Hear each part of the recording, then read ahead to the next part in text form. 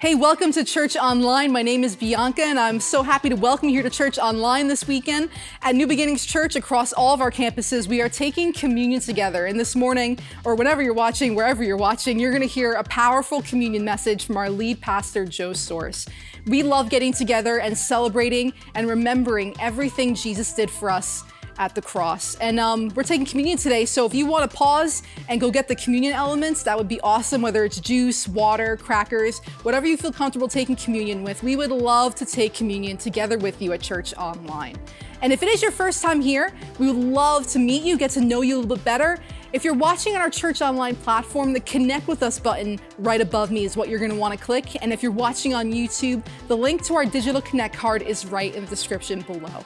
And every weekend across all of our campuses, we love to continue worshiping God with our tithes and offerings, our giving.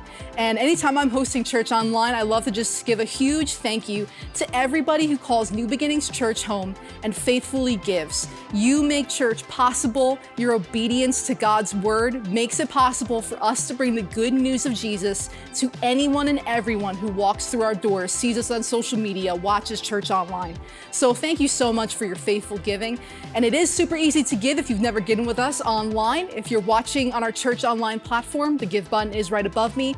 And if you're watching on YouTube, the link to give is right in the description below. And before we get into Pastor's communion message and before we take communion together, we're just going to watch some church news. There's a lot of awesome stuff coming up at New Beginnings Church.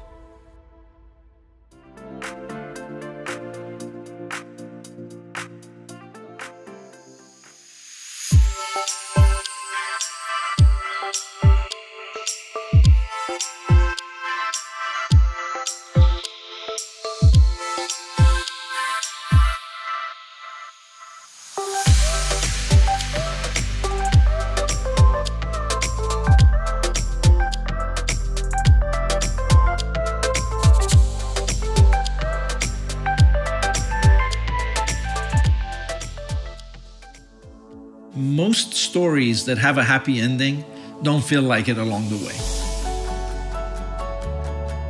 We borrowed for everything. Want a new couch? Go finance it. Want a new TV? Go finance it. Want a new car? Go finance it. My whole philosophy was credit cards. I'll just work another week. Swipe the card. Everything kind of started to crash. We started to see our marriage drop away. I personally owed $750,000 in debt. I was totally hopeless. You need to decide if you want to be wealthy or if you want to look wealthy.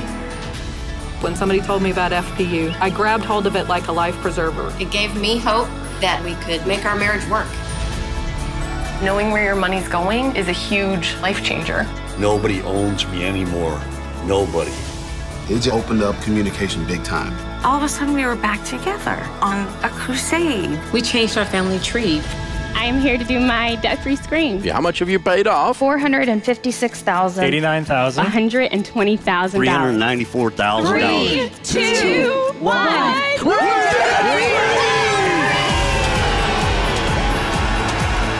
This financial peace stuff is working. People are getting out of debt and they're becoming millionaires. We are the first generation that are millionaires. And we've given more than we ever imagined we could give. I now have a net worth of $1.7 million. Hope is real.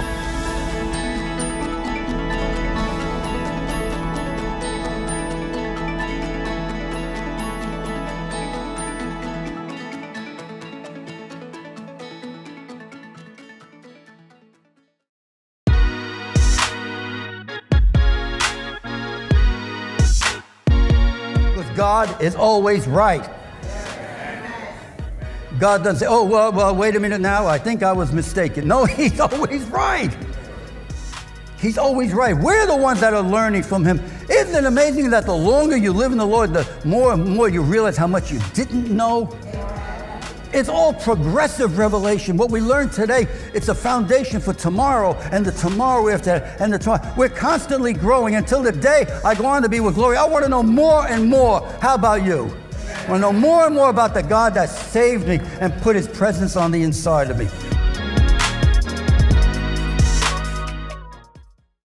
Welcome, everyone. This is Communion Weekend here at New Beginnings. This is the time that we come together around the Word of God in order for us to prepare our hearts so that when we take communion together, we're doing it, number one, in faith. We're doing it with a fuller understanding of what the word says about communion so that we could receive all the benefits that Jesus desires for us to receive when we come together in remembrance of him. For many of us, we grew up being told that preparing our hearts involves us focusing on our sins to make make sure that we went to confession to before we took communion. And uh, the side result of that or the side effect of that was that we took communion focused more on guilt on our own guilt and condemnation. We took communion with a sense of unworthiness. And the bible doesn't really teach us that that was the desire of Jesus' heart. Yet, biblically speaking, communion represents fellowship with Christ purchased by his sacrifice on the cross. That ancient symbol of suffering, humiliation, and death became to us and for us the symbol of love, grace, and the mercy of our Savior. Our focus this weekend as we prepare our hearts for communion is the cross. Here's what one Bible teacher had to say. To many people, the cross is just a symbol for Christians that represents virtues such as kindness, peace, forgiveness. The cross does symbolize those virtues, but there is more than just symbolism represented by the cross. To many people, the American flag is just a symbol of freedom. Multitudes take only what it means to them to use it for their own gain and their own agenda. Then there are those that realize the sacrifice that went into our freedom.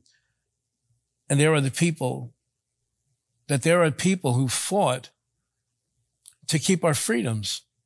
So, so in a very real sense, there are many Christians and even people that claim to be Christian or would identify themselves as Christian. The cross represents the love, the peace.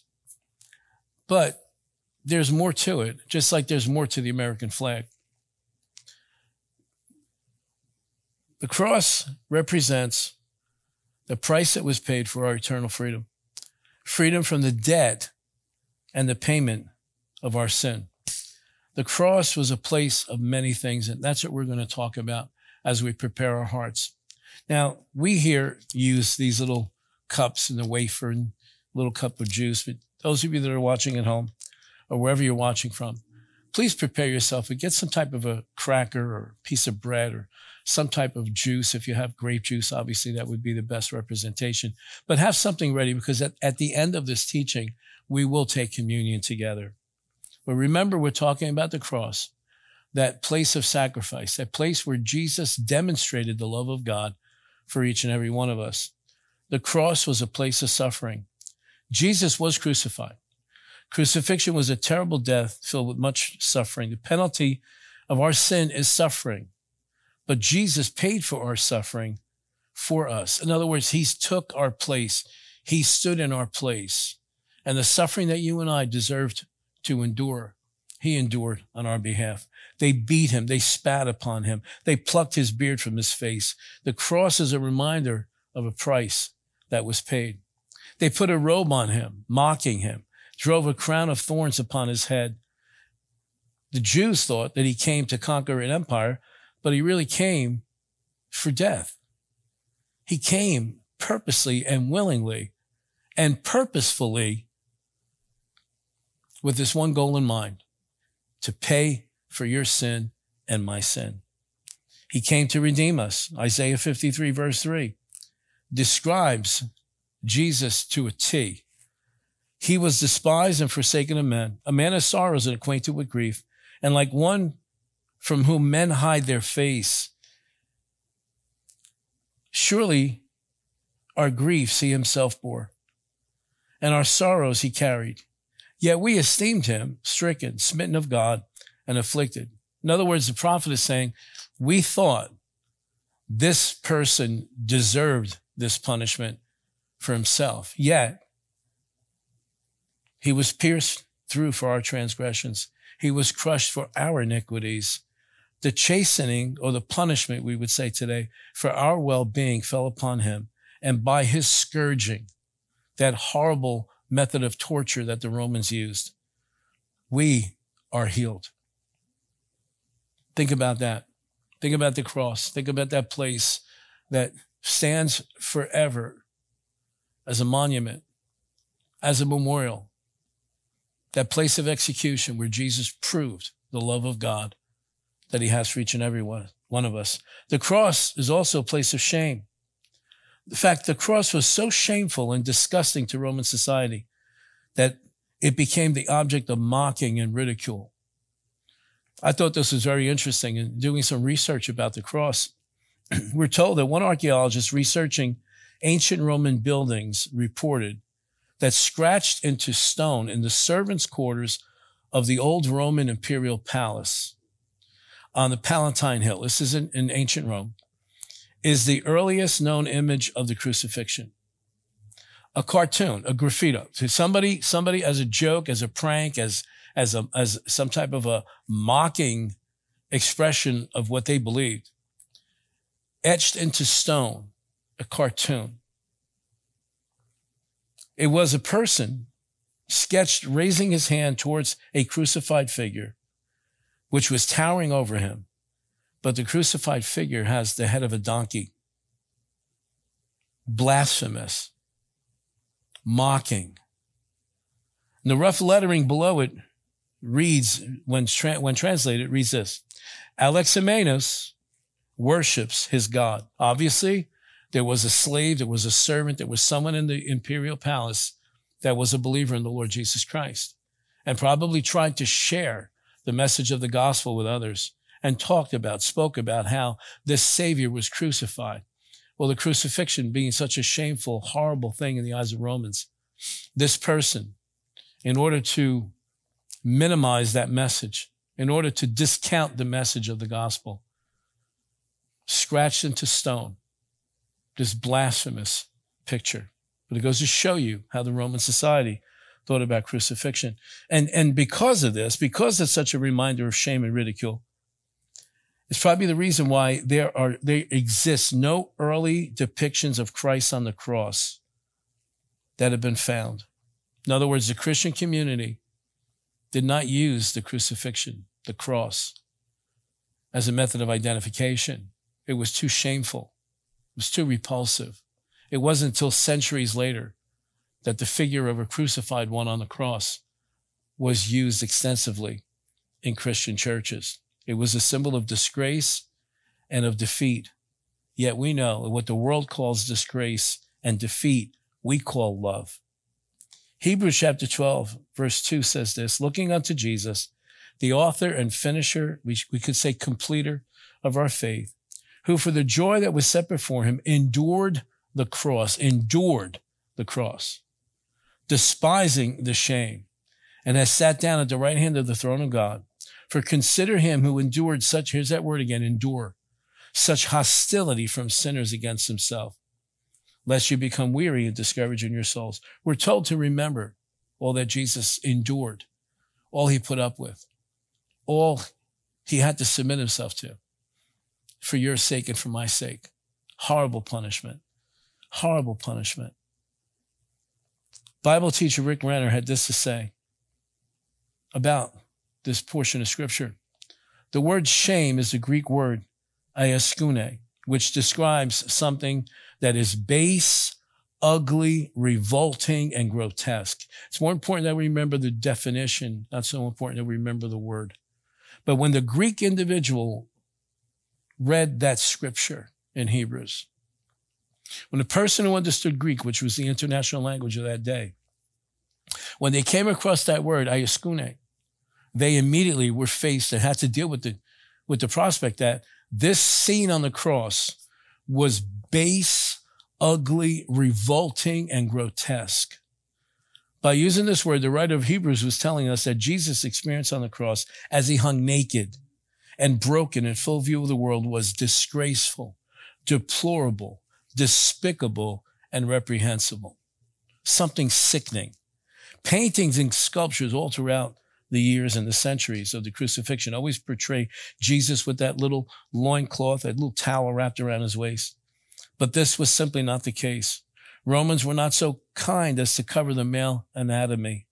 Jesus was stripped of all clothing and hung naked before the jeering crowd. For a Jew who respected the human body as something made in the holy image of God and who abhorred the naked idols of paganism, this indignity was utterly repugnant and embarrassing. Imagine if you were beaten to a pulp and then hung, hung physically naked in front of your friends, your family, your coworkers, and acquaintances. How would you feel? And that's what that Greek word is trying to bring out to us and clearly show us a picture. In Hebrews chapter 12, verse 2, tells us that the Lord Jesus felt a deep sense of shame and embarrassment in that horrific moment. The cross was a place of salvation. Thank God. 1 Corinthians chapter 1 verse 18 says, for the word of the cross, or we could say some translation says, for the message of the cross is foolishness to those who are perishing. But to us who are being saved, it is the power of God. Let, us just imagine the sixth hour as the darkness fell on the earth. God turned out the lights to tell the people that they had mocked him enough. What happened in that dark hour? The Gospels tell us that in that dark hour, every sin known to mankind was placed on Jesus. He literally took our place on that cross and paid our price. Literally. Literally. It's not symbolic anymore. He did this. Jesus, who lived a pure, sinless life. If there was anyone born, born, born on earth that did not deserve the cross, it was Jesus. However, it was part of God's plan for him to procure, to obtain, to purchase the salvation that today we gloriously and freely possess. Wow. We owe such a debt of gratitude to the Lord Jesus Christ. You see, Jesus accepted his assignment, but the Bible tells us plainly that he had to submit himself, knowing how much suffering it would cost him. He had to set himself, he had to position himself in such a way to endure this suffering as part of the assignment that the Father entrusted to him. In order to purchase our salvation, Jesus had to say yes to that period of suffering, those hours he spent in agony on the cross, so that you and I would be able to come together and take communion, honoring him, bringing that sense of community that matter where, no matter where you are in the world right now watching this, whether you're local, whether you're in another nation, another continent, this draws our hearts together in gratitude towards our Savior who endured the pain, the suffering, the humiliation, the shame, so that you and I could be set free from sin and reconnected to our Father in heaven. I hope you realize that. And I hope that is preparing your heart. He endured, he submitted himself because he recognized this was the assignment for which he was born. I want to flip this and I want to bring another aspect of the cross. I want us to see that the cross is also a place of mercy. Mercy. Lamentations chapter 3, written by the prophet Jeremiah. And there's a very important portion of scripture here that I want to attach to the cross. Lamentations 3, verse 22. Through the Lord's mercies, we are not consumed because his compassions fail not. Verse 23 says, For they are new every morning. Great is your faithfulness. Verse 24, The Lord is my portion, says my soul. Therefore I hope in him. Let's talk about this a little bit more. Through the Lord's mercies, we're not consumed. Through, we could say it this way, through the cross of Jesus Christ, you and I will not perish because of the cross, you and I do not perish. Because of the cross, we're not consumed. We're not put away. We're not done away with. We're not cast into darkness because of the cross. Because his compassions fail not. Compassion is an interesting word. Compassion means it, it, it, maybe maybe it's better for me to describe what it is not. Compassion is not pity. Pity is you feel sorry for someone but you don't get involved. Compassion is your heart breaks for the condition of another and you get in that hole with them in order to lift them out. That is the cross, my friends. That is the cross. You would think, well, we would have pity on him being crucified. No, he was having compassion on us from the cross, knowing this is what it's going to take for me to get you reconnected to my Father again. We've been trained to see the, the cross as a place of murder, the result of a terrible betrayal. You remember how Judas betrayed Jesus, which took place just a few days before. Yet the very same people who shouted, Crucify him, were proclaiming his praise. Hosanna, blessed is he who comes in the name of the Lord. Yet, a few days later, they cried out, they demanded his crucifixion. Place of mercy. The cross represents the mercy of God because he did not have to do it. Jesus did not have to go to the cross. It was an act of his will. He submitted. He, he took upon himself the assignment that was given to him, but he didn't have to do it. But he knew if he didn't do it, you and I would be eternally separated from God in torment and unspeakable suffering. Jesus could have returned to heaven. When he climbed up on that Mount of Transfiguration and he was translated into heaven, where he spoke to Moses and Elijah, he was already there. He could have chosen to stay, but he chose to come down from that mountain and go to the route of the cross. Because of you and I, Jesus came off that mountain, came back from heaven, having been surrounded by the glory of God. Yet he chose to come back down that mountain as an act of compassion Jesus took no shortcuts in purchasing our salvation. He took upon himself, listen to this. You need to understand this, okay? He took upon himself the full wrath of God, allowing all of God's anger towards sin to come upon his body and to crush his soul. I want to say that again. He allowed the full wrath of the Father in heaven against sin to come upon himself in order to inflict upon his body every sickness, every disease known to mankind, which is a result of sin, and to have his soul crushed emotionally. You remember in the Garden of Gethsemane, he cried out to God, Is there any other way we could do this? Yet not my will, Father, but yours be done. Mercy is shown in his love abiding with us. John 15, 9, Jesus says, As the Father has loved me, so I have loved you. Abide in my love. Abide in my love. To abide means to tarry, to linger, to continue to be present, to be held, and to endure. Abide. He said, abide in my love, yet he was going to abide in our suffering. He endured our suffering. He abided in our suffering. It's an endless love. Nothing can separate us from the love of God.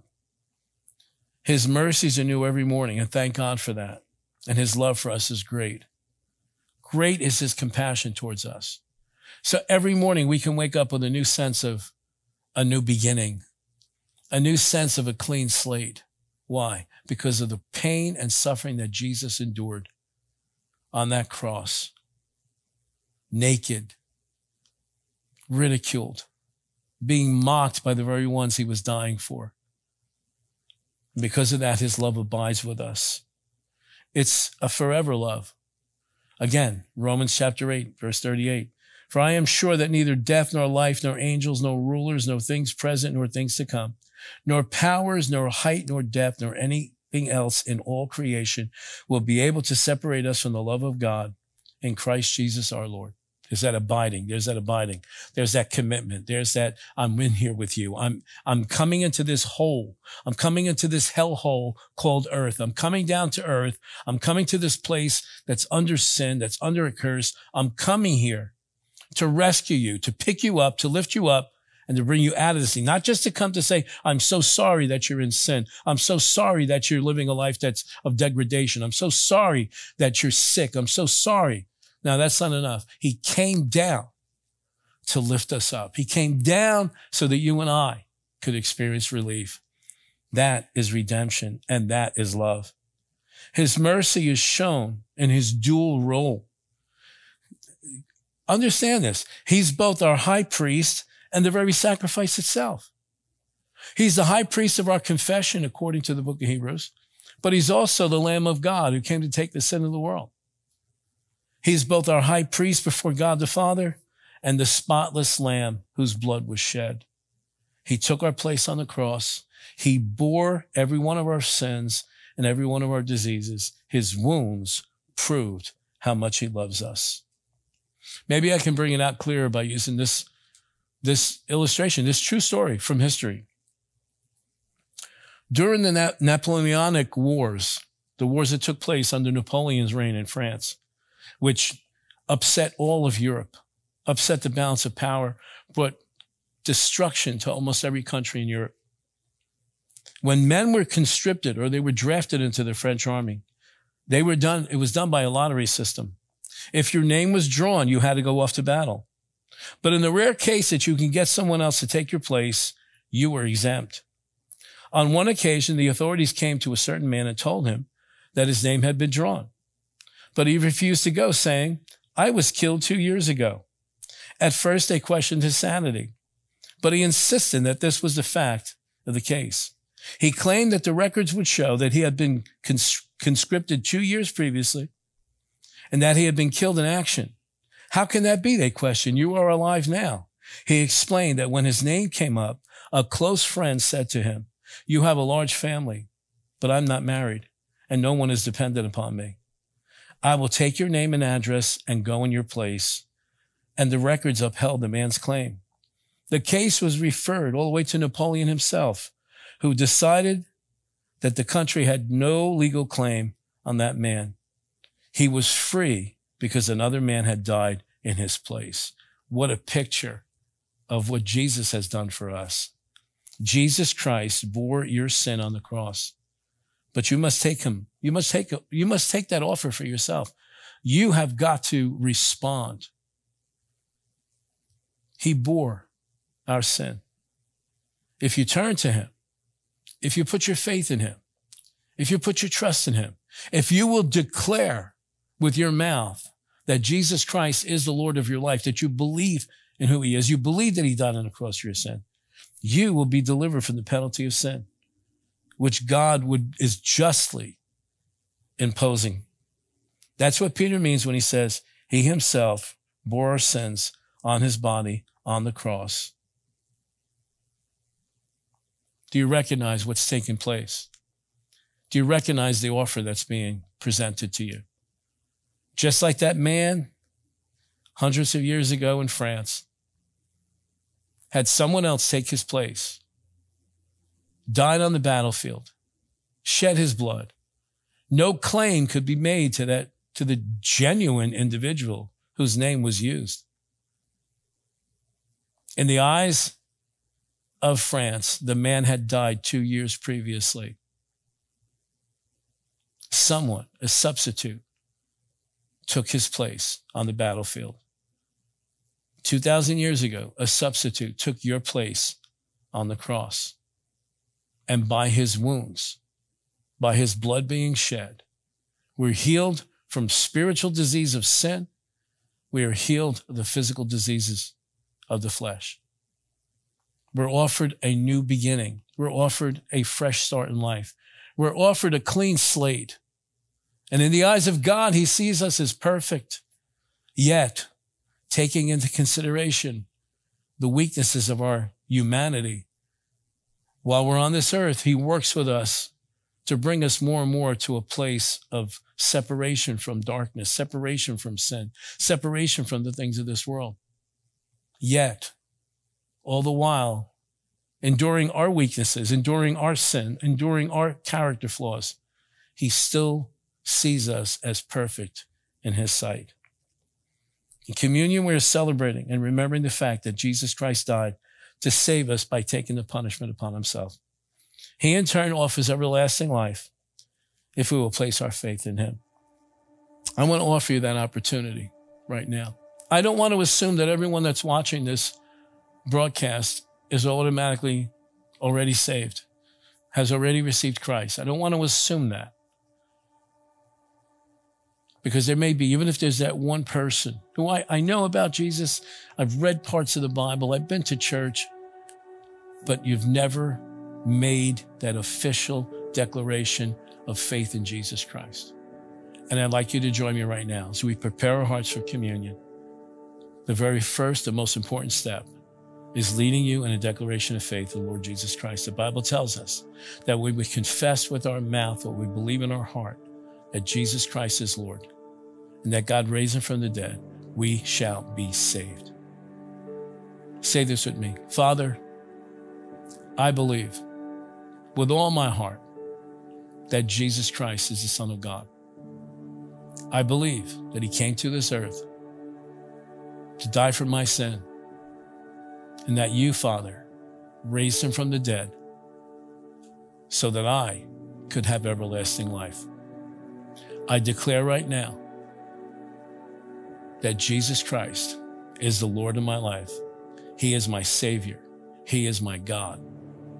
Thank you, Lord Jesus, for making me a child of God. Thank you for forgiving my sins. I receive you as my Lord and Savior. I pray this in Jesus' name. Amen. Go ahead and take whatever you're going to use for communion. Take hold of piece of bread that you have, a cracker, wafer, whatever it is. We're going to pray over this, we're going to pray a blessing upon it, and then we're going to take communion together. I hope that you're joining me right now, wherever you are. Father, thank you for your blessing upon this bread. Father, Thank you that every time we see the bread, the wafer, the matzah, the cracker, whatever it is, Father, it is symbolic of the body of the Lord Jesus Christ, which He allowed to be pierced for us, which He allowed to be nailed to that cross. Thank you for the sacrifice that Jesus made on the cross. I receive this with thanksgiving. In Jesus' name, amen.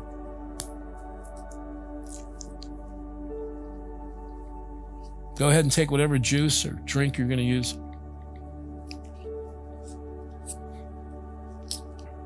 I'm also going to pray a prayer of blessing upon this, and then we'll take it together.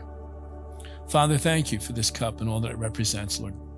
We remember that this cup is symbolic of, represents the blood of the Lord Jesus Christ, the most powerful thing in the entire universe, in the realm of the seen and the realm of the unseen. The blood of Jesus that purchases us, that cleanses us, that causes us to be qualified to stand in your presence, Father, without any sense of guilt or condemnation. We receive this cup with thanksgiving in our heart, understanding that without the shedding of blood, we could never be free from our sins. Thank you that you did not spare the blood of your own son, that you allowed it and you permitted it to be shed on this earth. You received it in heaven as full payment for our sins bringing us back into relationship with you, Father. And we're so grateful for that. We receive this cup with thanksgiving. In Jesus' name, amen. Thank you so much for joining us. Thank you for allowing me to bring this message to you. I pray that you remember, I pray that you never see the cross again the same way. I pray that every time you see someone with a cross, see someone with a cross around their neck, you see a cross on a building, you see a cross in some type of a, anything online, I pray that this message will come back, that you'll remember it, that you'll remember that it was a place of shame, a place of suffering, a place of sacrifice. But just as importantly, that it's a place of mercy, a place of grace, and a place of healing. Thank you so much. And God bless you. Enjoy the rest of your weekend.